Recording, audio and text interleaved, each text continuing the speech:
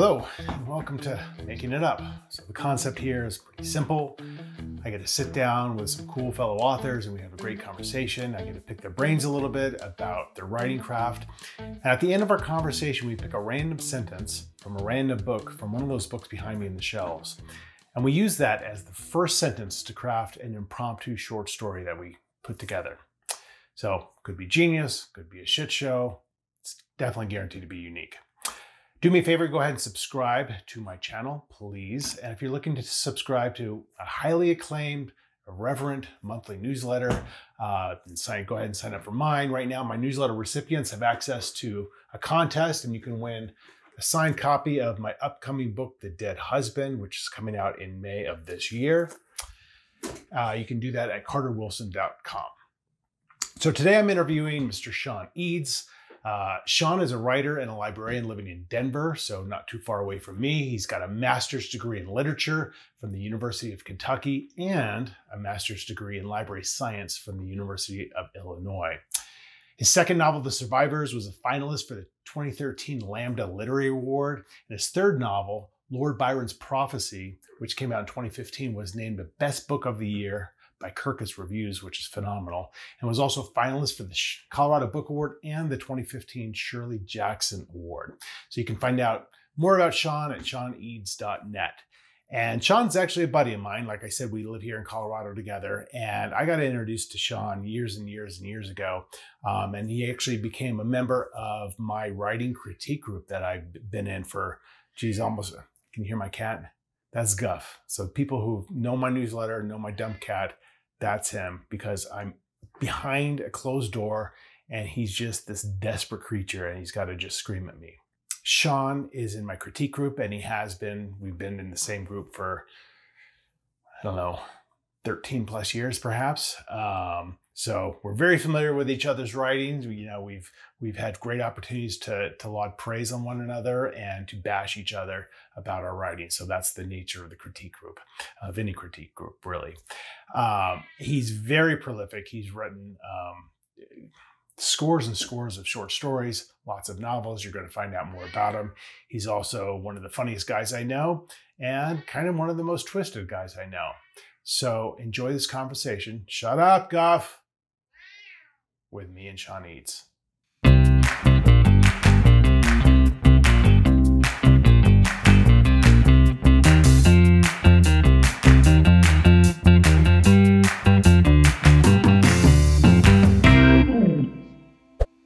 How are you? I'm doing pretty well. How are you? I'm doing well. I'm I'm I'm healthy. I'm not sick. Good. I've Good. Uh, it's weird because you read how bad the cases are, and I just don't even really notice it around me anymore. So. Oh yeah, yeah.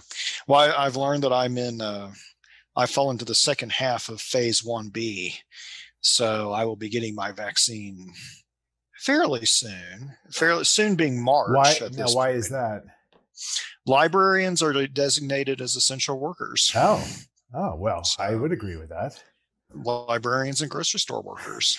so we're all we're all essential workers. And and so you had COVID, and I just they just came out today and they said now they think that buys you five months of immunity. I mean, I know you're well past that at this point, but before it was like three months. But yeah, I still do have some antibodies. I got I got tested in December for that. Oh wow, physical. So a, a few. Okay. I mean, I mean, whatever they would quantify a few. Basically, it just means that I was showing up as positive still on their on their test. Yeah. So yeah. Okay. Interesting. Well, listen. Thanks for calling in. Um, yeah. I'm kind of excited to talk to you because I was realizing there's a lot I know about you, but there's a lot I don't know about you, and I thought this would be a good opportunity to kind of find out a little bit more. But so so where did you grow up? I grew up in Lexington, Kentucky. So you born there? No, I was born in West Virginia, in Huntington, West Virginia, but but I've lived in lived in Kentucky. Parents moved there when I was about 1 years old, so it's really all that I ever knew. Once I got just a little bit older, my parents would ship my brother and I off to West Virginia for the summers to live with our grandparents. They believed that uh, they both came from pretty large families, lots of cousins and things like that. And both of my parents were the kind of the first people to leave West Virginia, hmm. I believe. And, and um, why did what brought them to Kentucky? What was the motivation?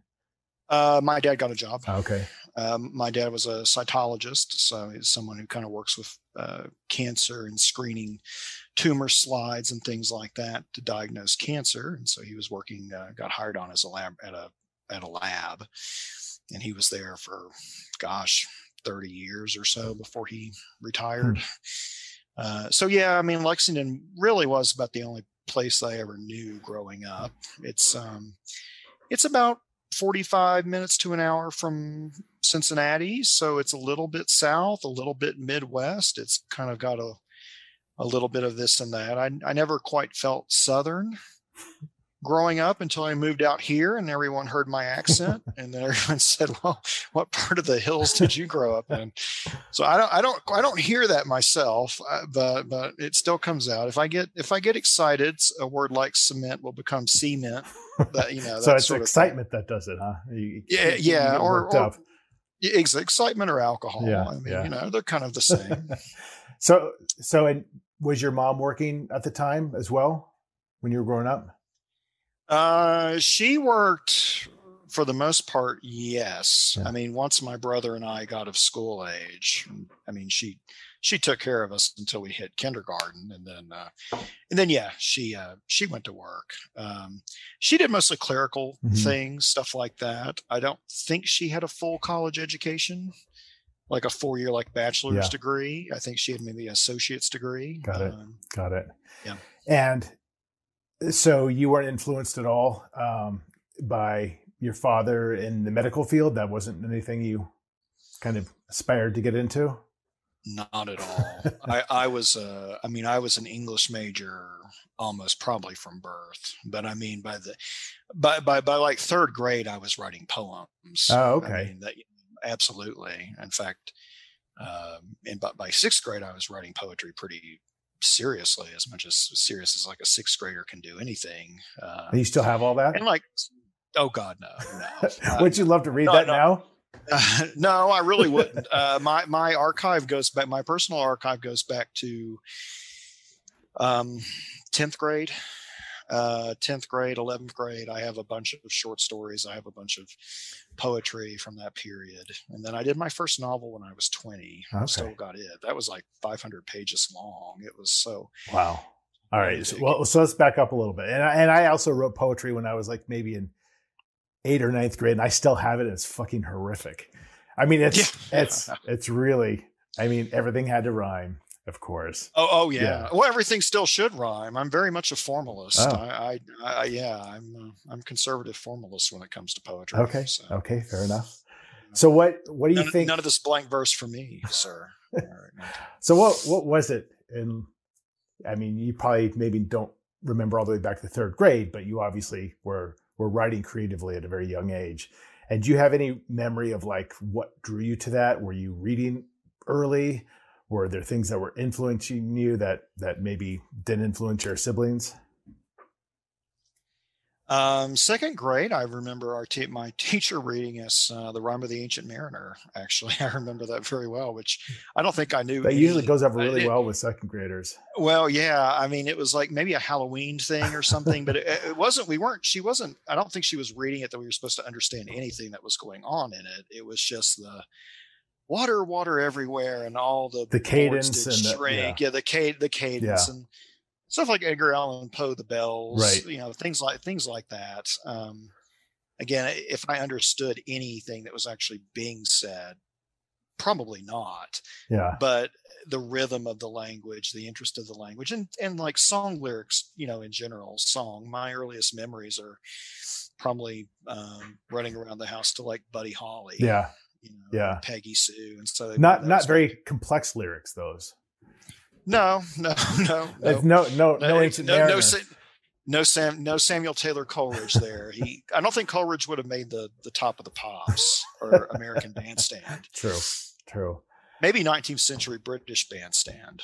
Uh, he could have done that. I mean, but, so in high school, you were definitely leaning the English major direction. You knew that that was that was oh, good. Yeah. yeah. So totally, that's interesting. Like most people don't yeah. know at all what they want to do when they're going into college. I certainly didn't really.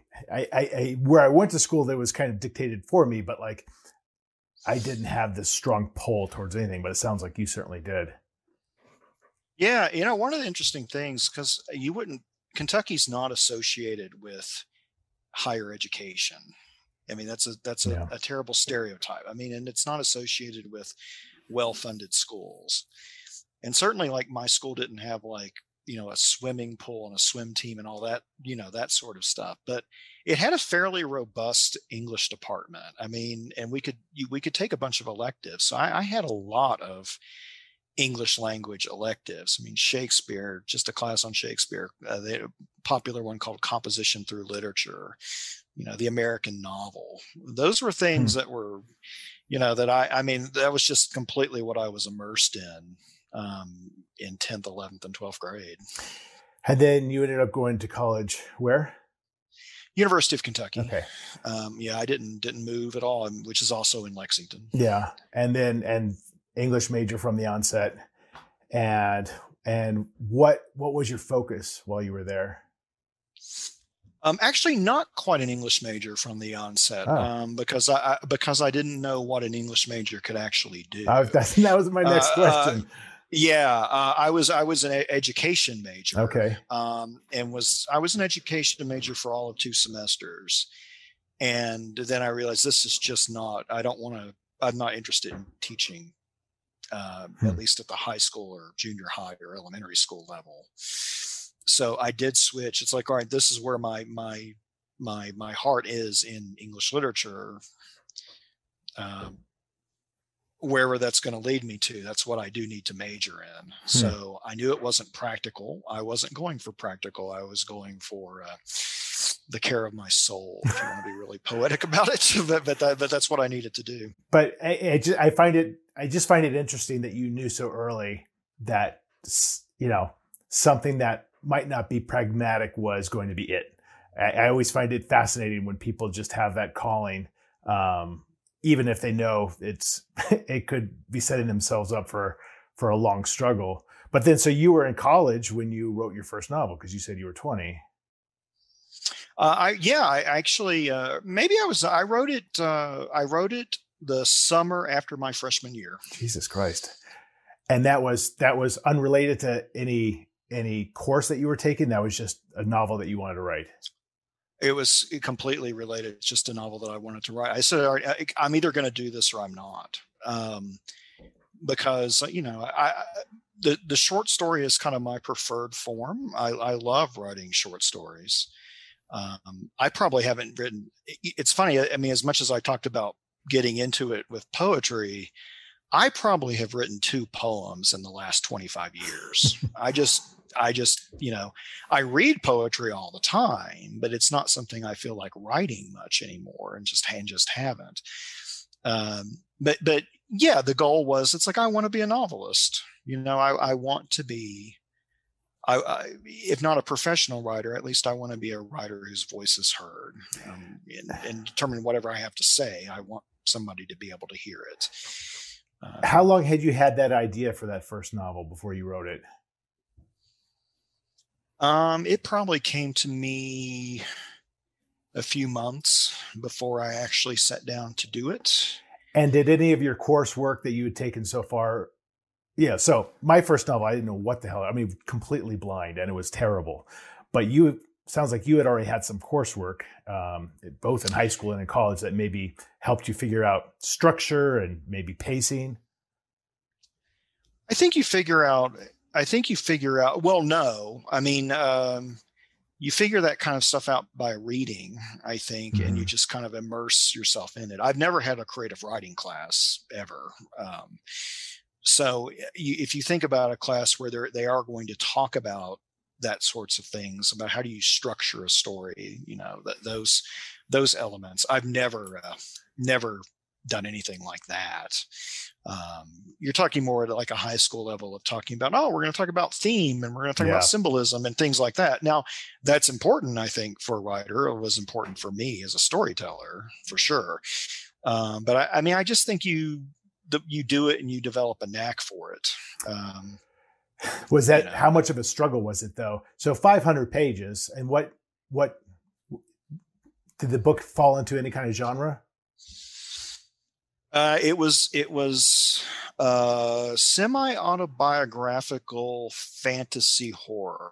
How how about that? Uh, uh, I, I mean, I, I, don't think I've made a say. I was a pretty lonely kid in high school uh, for for a variety of reasons, and I again I wasn't far out of high school. I was like a year out of high school when I wrote the novel, and uh, part of it was wanting to kind of reflect back on the like what the last couple of years had been, and so you do have a character who's who isn't quite me, but he has elements of me uh, in terms of his feelings and in terms of his desires to kind of reach out and be friends with people, to make friends, to communicate with people.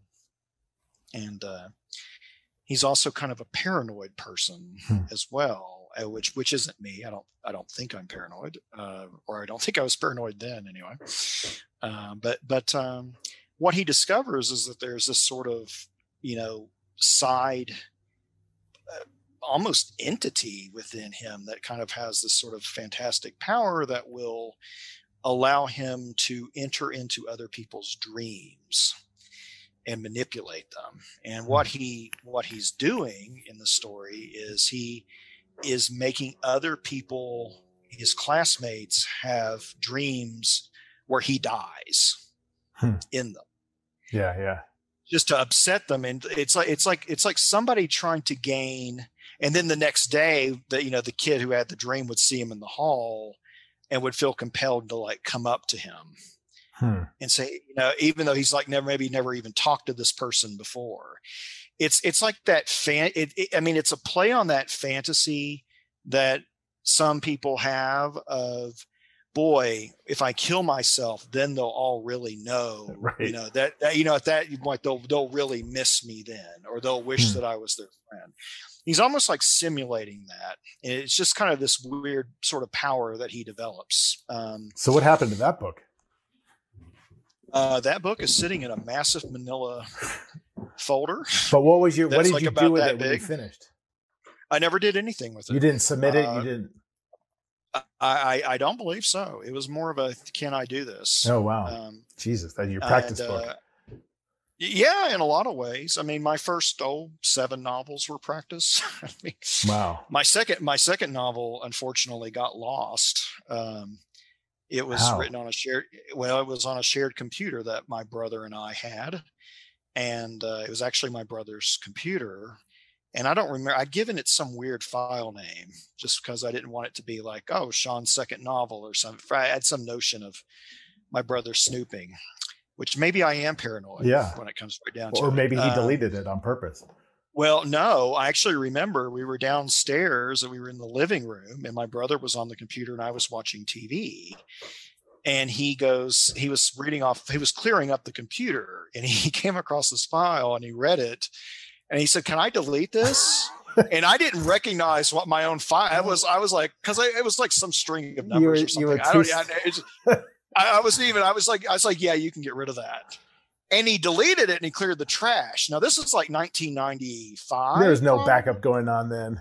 There was oh, there was no. Not only was there no backup, but I mean, whatever the cost would be to try to you know extricate recovered the hard drive. A, yeah, cover file and I mean, I realized it like five minutes after he did it. I was like, oh, uh, Brian, did you delete that? he goes, yeah, you know, that was a novel. I remember the name of it. It was, I had, a, I was about hundred pages into it. It was called The Corrupted Earth. And you never, did uh, you try to rewrite it or you, you just, no, you just I, jettisoned I, I, it? fact, as a matter of fact, I probably went a year without writing anything. I was depressed it's, about it. That's devastating.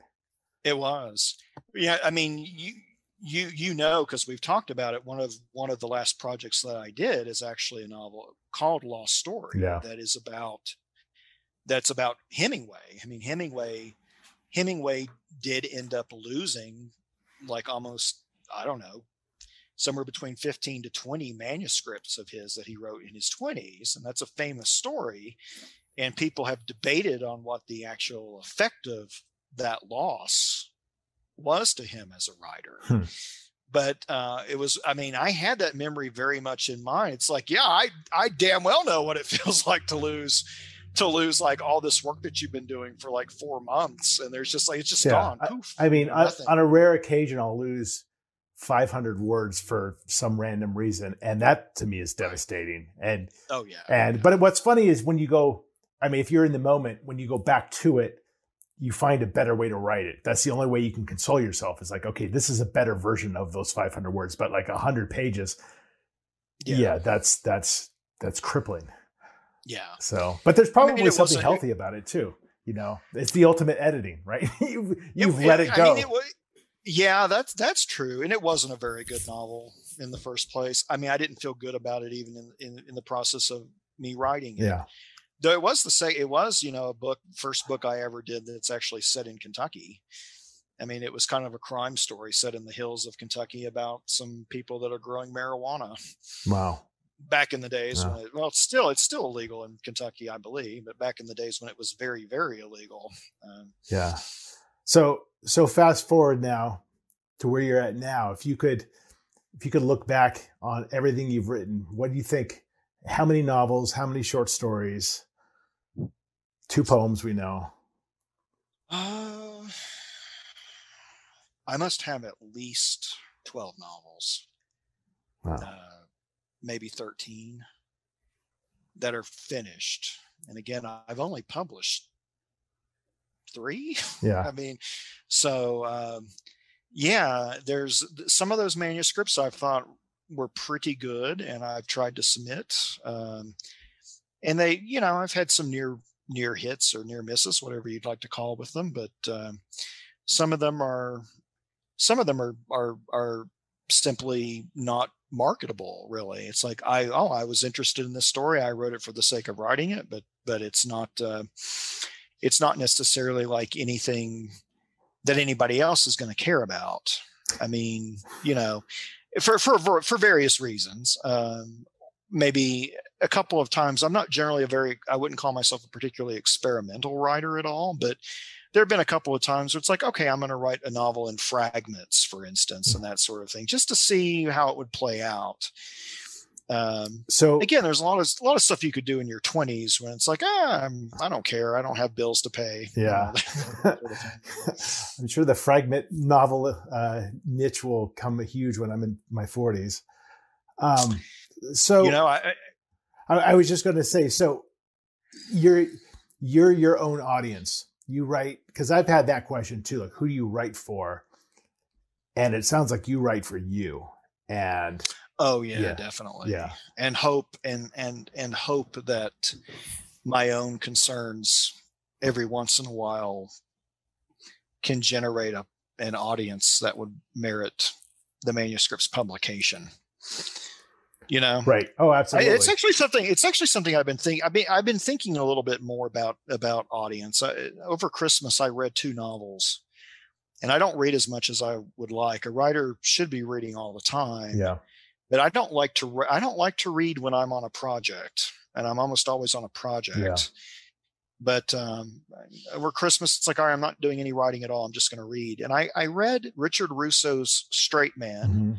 which is from 1997, and I read uh, I'm going to mispronounce his name, Ocean Vuong, I think is his name. Uh, yes, on Earth I- we're I- briefly I, gorgeous I wanted to talk to you about this book. which is a which in itself kind of is a is more of an experimental kind of a fragmentary novel in itself and it just struck me i mean there there's there's been this sort of thing going i don't know if you're familiar with it or not but there's this thing about um it's it's kind of a social media thing where people are trying to get um people are trying to oh gosh i'm blanking on what the hashtag what they're calling it now um but it, it's like it, basically the whole point is saying look you can't you can't we shouldn't be just always reading shakespeare or reading faulkner or whatever in high school you know th- there's all these things about representation Right. that like like you know a, a kid from you know whatever stereotype you want to say a kid from the bronx from you know harlem or, or you know, whatever you want to say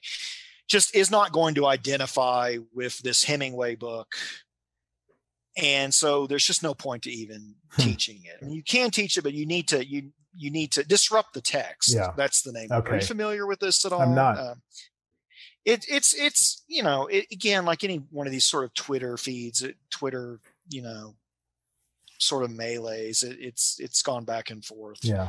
But it but it's an interesting it's an interesting topic.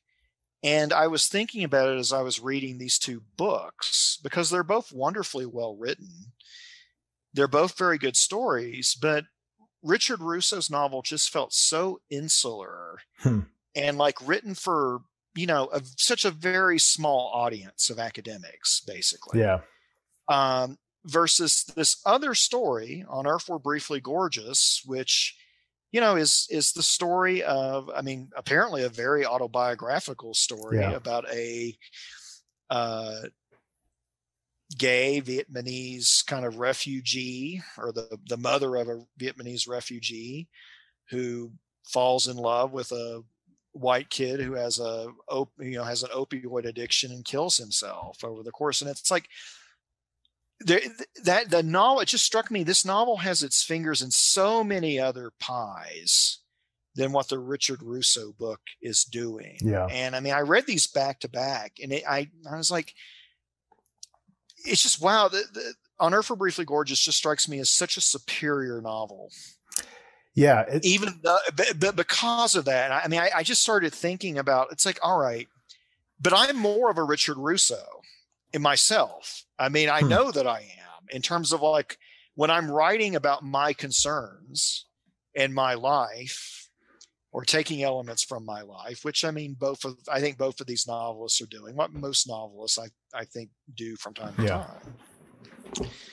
Um, it, it, it's just like all right i mean if, if i'm thinking myself how do i broaden like if i like i mean i guess the base of the story is like when you're when you're talking about a story it's like well should you just write for yourself? Should you be thinking of only yourself as the audience when you start to do something? Well, you know, yeah, and, I know a lot of people don't. A lot of people write specifically for an audience, and I know if you're a genre writer, you're you're told that's what you should be doing. It's not. It's certainly what not what I do, and I've run into issues writing for myself. But you know, I feel the pull of like, okay, I need to pick up the pace here or whatever you know, because yeah. you're being defined. But so you posted about on Earth We're Briefly Gorgeous, so I picked it up, and you know, within two pages, I'm just like spellbound, and mm-hmm. it's it's and it has probably only really ever happened to me before with Cormac McCarthy, where mm. I'm just completely absorbed in in in the language. And so I wanted to ask you, you know, think of all the you know millions of words that you've written um, and i think of all the words that i've written and i'm like i could write for the rest of my life and i don't think i could write like that. I don't think i could conjure phrases and sentences the way ocean vuong does.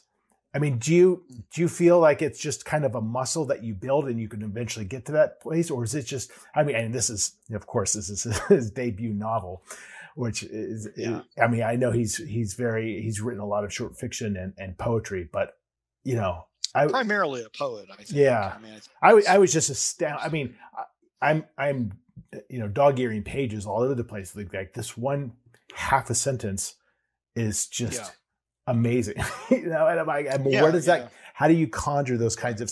And you you're writing you, you your writing is is very strong. And like you have you have a turn of phrase that feels very natural to me but it's you can jump in you can jump into not only different voices very easily you can jump into different periods of time very easily. And i think some of your strongest fiction um, it, are, are, period pieces. You know you mentioned your your mm. hemingway book and and what i've seen of that i've i've really gravitated towards. How much of it so yeah how much of it is muscle? How much of it okay this is what i'm going to write and I've done so much writing before that I know uh, now that I have the idea, I can just just generate it as opposed to slogging through sentence by sentence.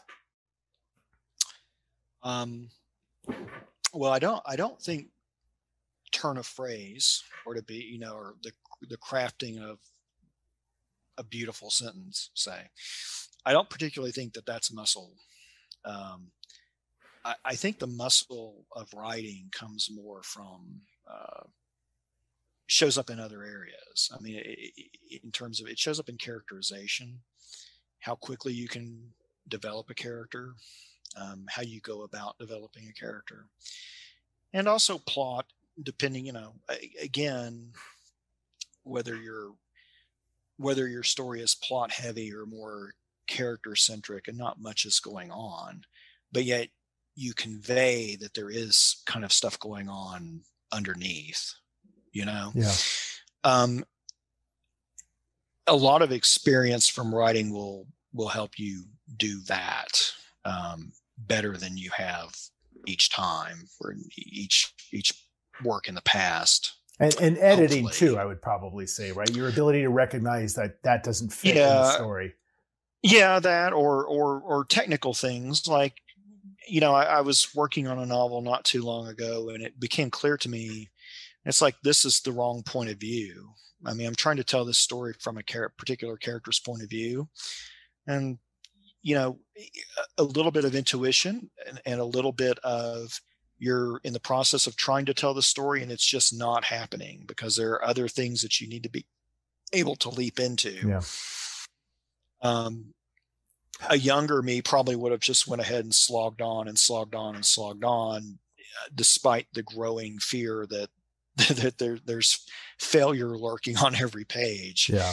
And now, now you just, I mean, you, you, you learn to, you learn to, uh, not call it quits, but to reevaluate, um, and to redesign and redeploy yourself. Um, you yeah. know, as need be. As a result, I mean, I think, I think basically that one of the differences between a, uh, an experienced writer and a, and a non-experienced writer is just the strength of the first draft.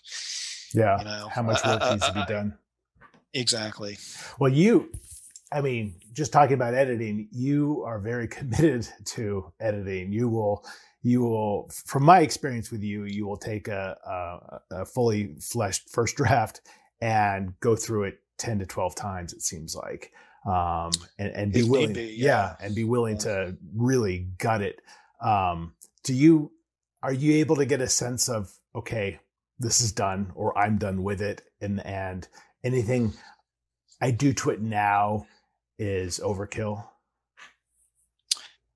Uh, uh, the overkill portion definitely. I mean, I think you can you can edit something to where you can polish it and you polish it and it gleams, but it's also dead. So, what are you hoping to get out of 2021? We'll wrap this up and, and do our, our our our little storytelling. Um, well, I'll be finishing up hopefully the last draft of a of a of a novel that uh, it's in the second draft now, and I'm having a I'm having a friend kind of line edit it for me, um, and that's called Confessions. It's another story set in uh, set in Kentucky. I've done so so much of my work of late, really of the last few years, has been sort of science fiction and fantasy and horror, but uh, those aren't really the types of stories that I read generally. I'm going just more, I'm, I'm trying to write much more just like slice of life, people's lives in the everyday world um, sorts of stories. So, so long fiction versus uh, short fiction sounds like this year. Yeah, or, or realistic fiction yeah. versus uh, genre fiction. Yeah, I have nothing against genre fiction. I write it all the time. I, I, I respect it very much, but it's just not kind of where my personal passion is at the moment. Um, so there's that. Uh, hope to finish that. Hope to get that out to agents and see if somebody will will bite on that. Um, I think my I have, an, I have a novel about Oscar Wilde that I think gets will get published later this year um, or early next year. Uh, that's from Lethe Press. They're the people that do my have done most of my other stuff. Um, um yeah, I'm just I, I, I do want to write just more short fiction this year yeah. rather than novels. Okay. Um, well, you that, that would be a career goal. You you are probably the most prolific writer that I know, and your production is, you know, astounding. So I, I don't doubt at all that you'll get a lot of words in this year. Well, when you don't have a social life, that's the key, huh? Yeah. All right, so we're going to make up a story yeah. we're going to see how this goes. Um, so I'm going to ask you a couple questions because you're you're in charge of, of, of picking the sentence that we're going to start with. So uh, pick left, middle, or right. Let's do middle. Okay. One through seven. Five. Uh, 1 through 20. 10. 1 through 100. 50. I'm going straight down the middle on everything. Yeah. Okay. 1 through, and finally 1 through 5. Uh, I guess I guess we'll go three. Okay, so you pick the middle shelf behind me, uh, the middle the middle uh, section behind me, fifth shelf, book number ten, page fifty, sentence number three. So I'm going to go. I'm hoping it'll be one of my own novels. That's what I'm hoping. I, yeah, I strategically sorry, placed sorry. it. Well, I'll be right back.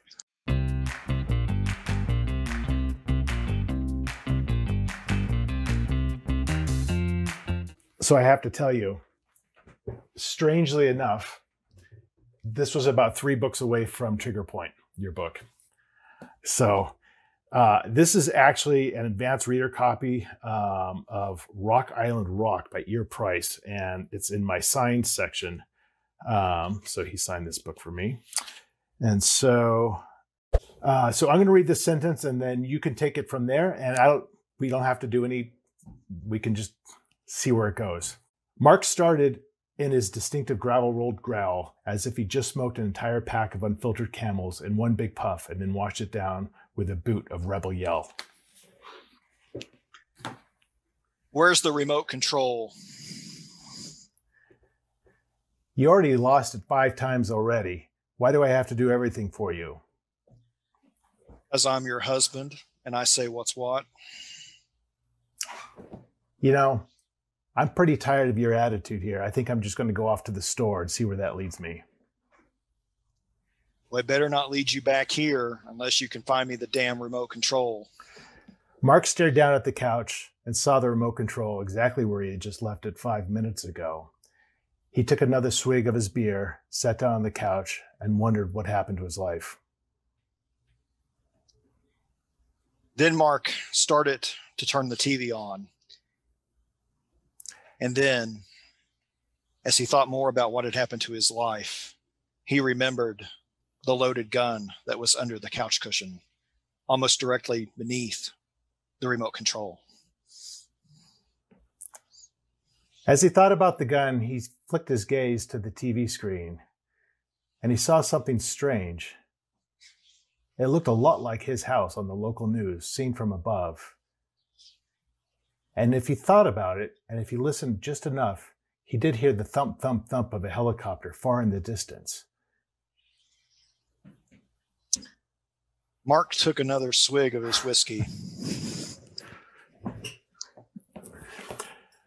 so he had successfully transferred from beer to whiskey in those few seconds that he was happy about. And he saw this, the scroll on the TV said, suspect identified in the local murder. Police on scene.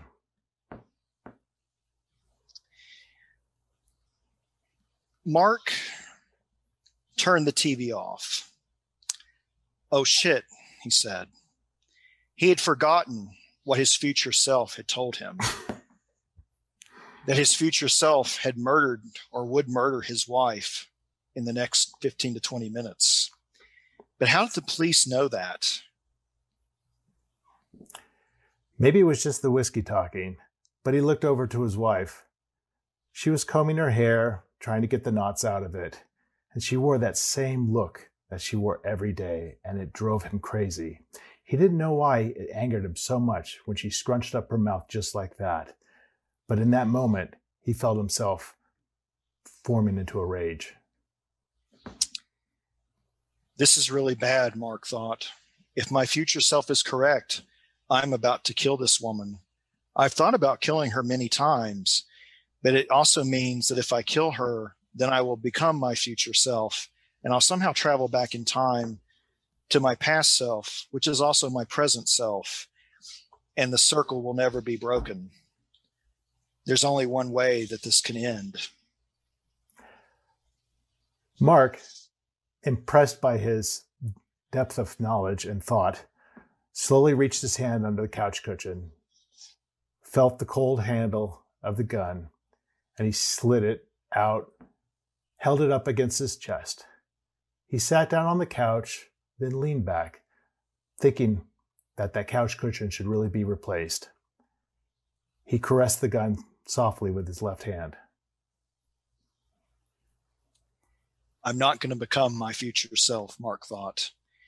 My wife may not ever remember where the damn remote control is, but she's not a bad person. And even though I hate her often, I'm not going to kill her. There's one way to end this circle. There's one way to keep me from becoming my future self who will come back and travel in time to talk to my past self, which is also my present self. he was starting to get a headache. So he put the gun into his mouth. And then he decided at the last minute to turn the TV back on. And when he did, there was no local news. There was no shot of his house. It was just the price is right, as it always had been. The price is always too much, he thought. He took the gun out of his mouth and then reconsidered killing his wife. He decided that maybe she did deserve to die after all. After all, he had asked for the remote control and she had not helped him find it. And then at the last minute, he changed his mind, stuck the gun in his mouth, and pulled the trigger.